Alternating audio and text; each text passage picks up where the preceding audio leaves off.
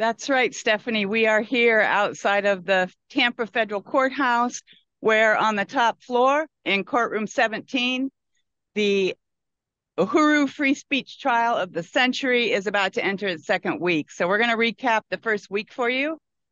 The first week of the free speech trial of Chairman Omali Yeshitela, Penny Hess, and Jesse Nevel left observers shaking their heads and asking how the government has dedicated over 30 FBI agents over the course of three years, conducted military raids on peaceful U.S. residents, offered a $10 million reward for information, and still has no case.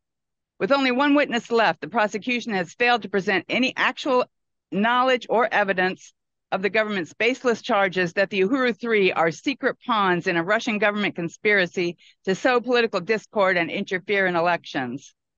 The government has made the outlandish accusation that Omali Yeshitela, chairman of the African People's Socialist Party, as well as two leaders of the organization's solidarity component, Jesse Nevel and Penny Hess, were paid for and under the control of the Russian government when they took a petition to the UN charging the US with genocide testified at UN hearings for reparations to African people, published an article opposing the ban on Russian athletes in the Olympics, ran for public office on a reparations platform, and spoke out against US NATO proxy war using Ukraine against Russia. The Uhuru Three have expressed these same opinions and fought for the right of Black people to vote and run candidates in, op- in elected office for over 50 years. The government's first expert witness was a uh, professor of political science at Syracuse University. He shared his views on Russian intelligence services, but admitted that he knows nothing about the Uhuru 3 case. The prosecution's other expert witness was a counterintelligence and cybersecurity consultant and professor. The government referenced this witness's writings in their response to the Uhuru Three's motion to dismiss, arguing that the term disinformation does not refer to information that is necessarily false. Rather, the government said it refers to information that makes the government look bad. On the stand, this expert witness presented concepts from his latest book. When cross examined, he confessed he did not have any direct knowledge of the Uhuru 3 case. A string of FBI special agents took the stand and gave tedious testimony on each of their narrowly assigned scope of duties. They described photos of possessions found in raids on the defendants' homes, such as books on a shelf and scraps of paper. They read serial numbers from computers and phones. Court observers were incredulous as one FBI special agent took the stand and began to read through the same emails and WhatsApp messages that previous witnesses had already read.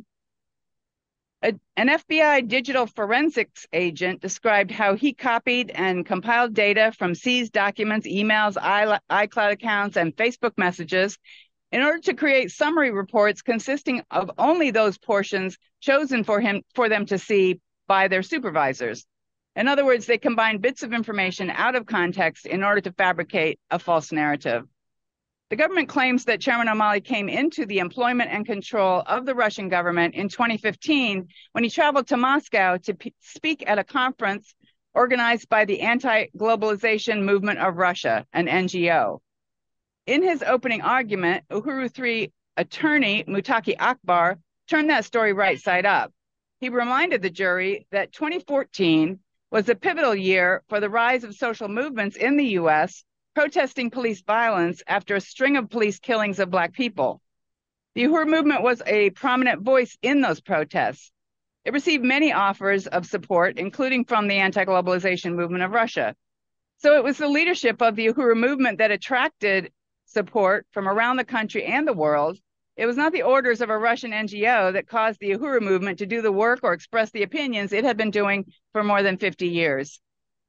Week one of the trial proceedings also included a Russian born FBI special agent who testified that reading the documents given to her by her supervisor convinced her that the NGO leader uh, of the AGMR, Alexander Ionov, was an asset of Russian intelligence.